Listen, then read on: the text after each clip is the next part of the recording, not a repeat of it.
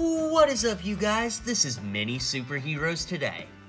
And in today's video, I'll be showing you how to make TV legend Mr. Rogers using 100% official LEGO pieces. Now, I do want to sidetrack here for just a moment and say that if you know anything about me in real life, you know I'm a musician and I work in the music industry, and I was actually associate producer on a Mr. Rogers tribute album that is officially available as of today.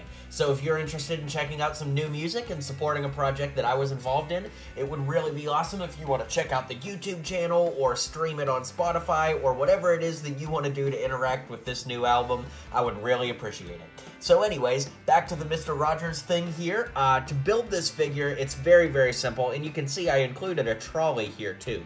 Now to build this trolley, I used two roller skate pieces uh, for figure's feet on the bottom, then a 1x3 plate, then a one by one flat plate uh, on either side here, then a one uh, one by one yellow stud in the middle, and then a two by one uh, flat plate on top to make this trolley. So of course, Mr. Rogers' trolley is just as iconic as he is. And then to build the figure, I used some dark brown legs. I used Robin's torso from the LEGO Batman movie collectible minifigure series, but I used the eraser method to take the Robins off of it so that he would have a nice, clean, red torso right there.